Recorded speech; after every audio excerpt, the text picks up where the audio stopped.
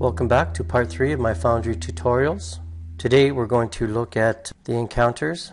We won't get to the boss, but we will do uh, two encounters which gives you the basics of what you have to do to um, add them. Uh, we have to add them in on the map that we're working on, which is the sewers. So as promised from the last video, so we do a quick run through. Here's where the player spawns. So let us uh, enter the map, make a run through to the other end. I'm going to go ahead and speed up the video so it doesn't take us as long to get to the other end. And while we're going along, I like to look at the map to see what I'm dealing with, if it's a pre-made map. I also spend some time to look to see uh, any potential places that would be good for archers, uh, melee characters, and traps. Here would be a good place for an archer.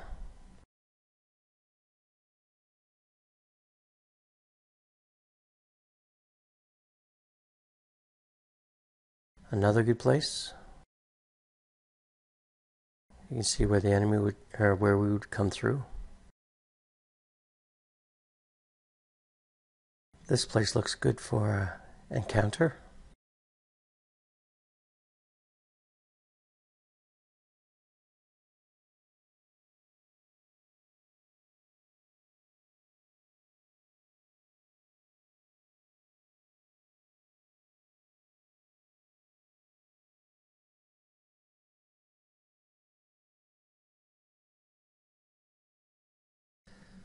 This place looks like it'd be a good place to put some traps underwater, just in case the players drop down in there. Hallways, always a good place to put a patrol.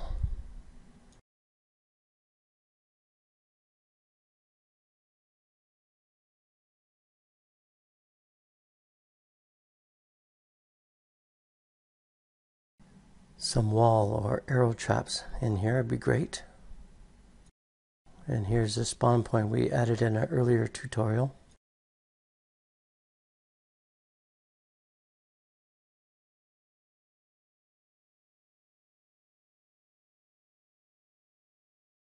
Where it's dark here along the walls, place for a good trap. Here we are in the boss's room.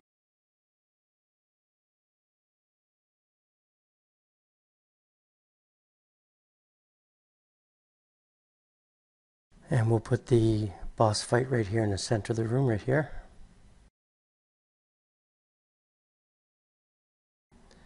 With our exit to the Protector's Enclave right here. I'm going to remove this door because I don't like it. Let's head back to the Foundry editor.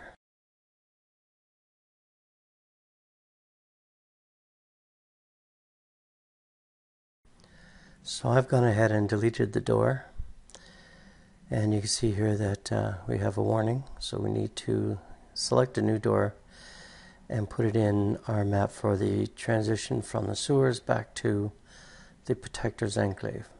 So we go to our maps.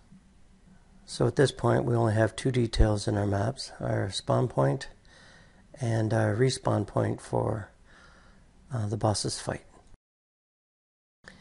So let us scroll into the area where we're going to put our exit door. Grab a door using the filter. We'll grab this small crypt door, drag it into place.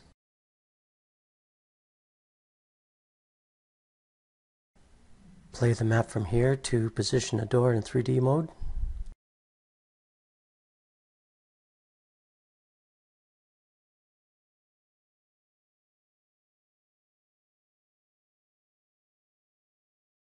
We can see the door over here sticking out of the ground. So we'll enter the 3D mode by Control Tab using the handles, move it up and position it back in place.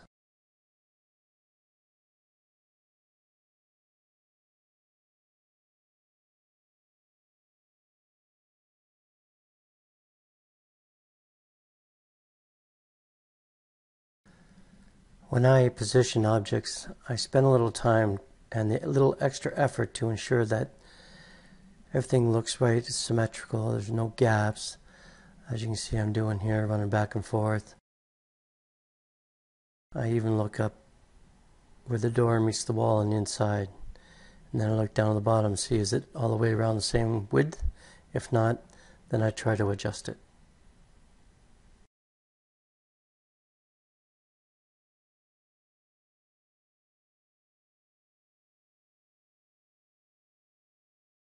Perfect. Okay, let's head back into the Foundry toolset.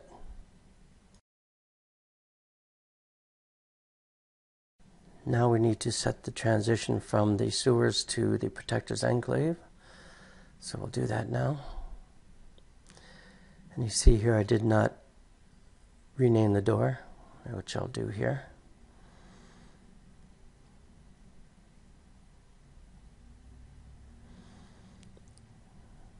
There we go. So at this point we're ready to start adding the encounters. I'm going to just do a couple, show you how to set up a patrol, and then you can fill in the rest of the details on your own. Let's head back to the beginning of the sewers and start from there. Select encounters. There's uh, many different types of encounters that you can have with different creatures. As you can see from the list here, uh, there's three difficulty levels, easy, standard, and hard. And there's melee, ranged, and a mix of both. So depending on your situation and what you'd like to uh, have for your particular maps, uh, you, there's plenty here to choose from. Me, I'm going to get rid of this filter and select spider because there's spiders in sewers, we know that. Just going to pick an easy encounter and mixed. So if you click on them, you can see here it gives you a short description of them. Right, this one's got five mobs in it. This one's got four. Okay, and they're both a mixture of uh, melee and ranged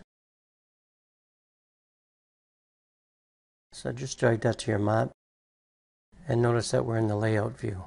In layout view, it shows the whole encounter, not each individual mob. That's in detail. That displays that information. Let's identify our encounter. Under behavior, this is just a straight up uh, fight that we're having in this particular case, but you can see there's other behaviors that you can have your encounter perform. In future tutorials, we'll go through them each individually and set them up and show you how they work. Let's enter detailed view. Scrolling to get a better view. They're all facing the opposite direction, so let's go into layout view, turn them around so that they're facing the player. Back to detail view, and you can move them around individually now to any position that you would like them to be in when they first spawn.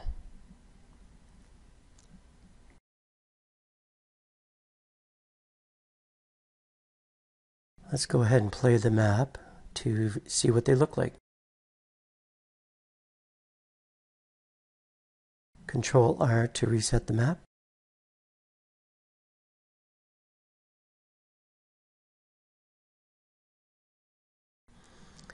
And there is the five spiders that we placed.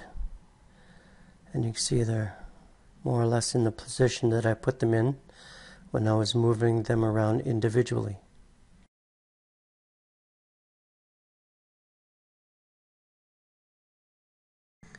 Let's head back to the foundry.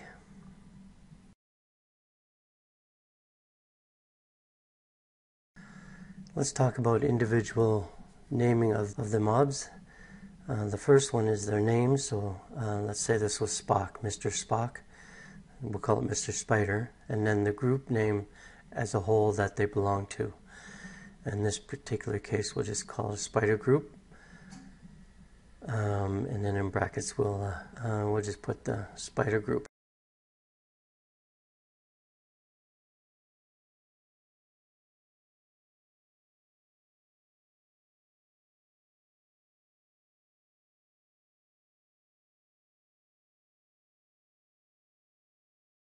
Just so you can see the difference. Let's play the map.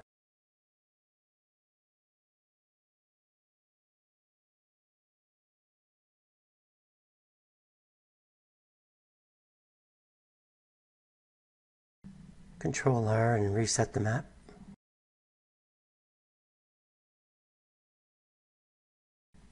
Here you can see the group name is on top in small letters and the actual name of the mob is in uh, larger letters underneath the group name.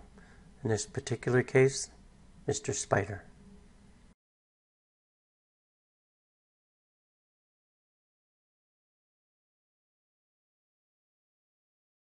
Back to the Foundry tool.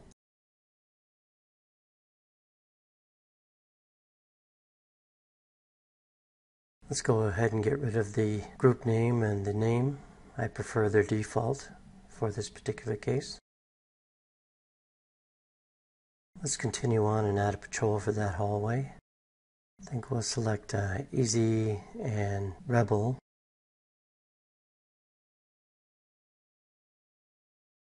It has three mobs for this encounter, and based on the level of the player, it'll show one, two, or three mobs for difficulty scaling. Drag and drop the encounter to your map, rotate it around so it faces the player, position it in the location that you want it, and we'll set this to uh, looping patrol.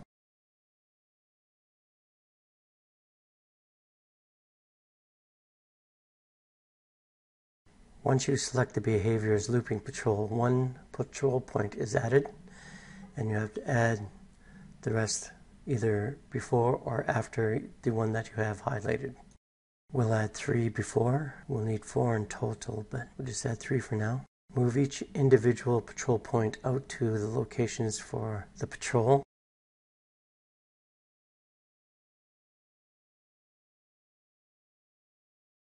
We need one more patrol point. We'll add it after. Remembering that this patrol is a loop, so we'll need four points. And move and adjust your patrol points around. The last thing you want is your patrol to get stuck on the walls or objects on the floor. And then when you position them, make sure that you run through it to make sure that they're not getting hung up on anything. Save it off. Now let's reposition the individual mobs in this encounter.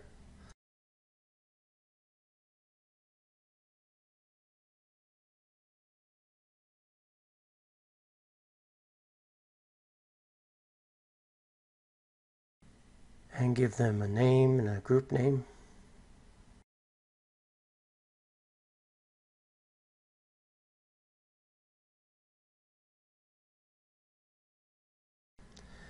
with some of the other behaviors, there's um, parameters that you can set for the actual behavior. In this particular case, there's no parameters need, that need to be set. So we'll just continue on.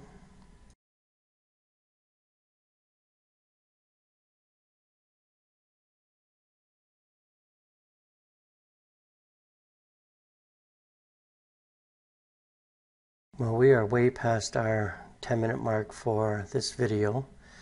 So what we'll do here, we'll just have a look at the actual patrol and see how it looks once we've uh, adjusted it. Let's go ahead and play the map.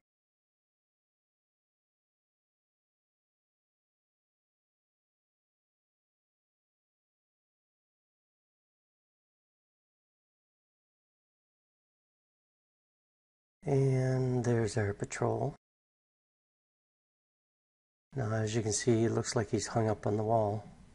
That's why you have to come in and play um, to ensure that things are working smoothly once you make those adjustments.